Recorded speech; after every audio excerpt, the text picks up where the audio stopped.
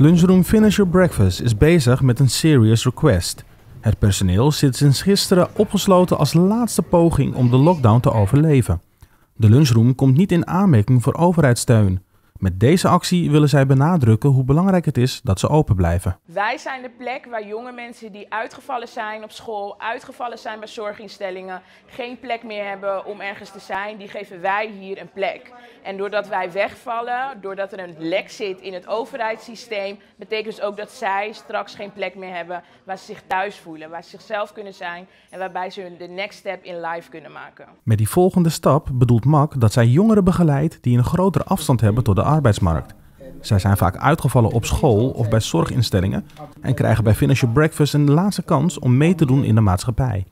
En dat maakt de lunchroom meer dan een horecavoorziening, volgens MAC. Het vervelende is dat het systeem, dus eigenlijk vanuit de overheid voor TVL-ondersteuning, geen ruimte biedt voor context. Dus dat houdt dus in, wij zijn januari 2020 zijn we gestart als onderneming en zij vergelijken de omzet met de periode laatste kwartaal van 2021. Maar dat kan je niet aan elkaar matchen, want we waren in verhouding nu langer open dan toen. Dus dan vallen we daardoor buiten de boot.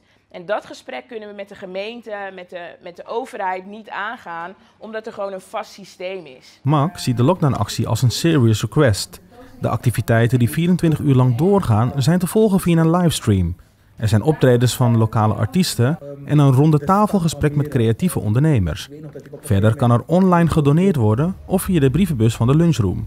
En toch is geld niet de drijfveer voor MAC. Wil dat de overheid en dat de gemeente met mij in gesprek komt, dat ze dit zien wat we aan het doen zijn. En samen met ons, net als hoe wij hier met z'n allen samen zijn, met ons nu bundelen. En samen kijken naar een passende oplossing en kijken waarom het nodig is. En waarom nu? Omdat er geen tijd meer is. Er is geen tijd meer, omdat als het nog langer duurt, het betekent dat dit sluit. En dat betekent dus dat we geen jonge mensen meer kunnen begeleiden en opleiden en die veilige plek kunnen bieden. De Serious Request gaat door tot morgen half vijf in de middag en tot die tijd blijft het slot op de deur.